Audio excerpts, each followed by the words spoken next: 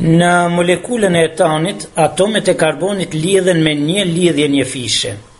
Prapëseprap, atomet e karbonit mund të ndajnë më shumë se nga vetëm një elektron në mes tyre.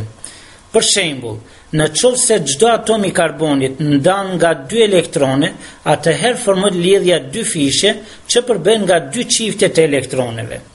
Dy atomet e karbonit mund të shpërndajnë nga tri elektrone dhe kështu formojnë lidhjen trefishe. Elektronet e mbetura valente lidhen me atomet e hidrogjenit.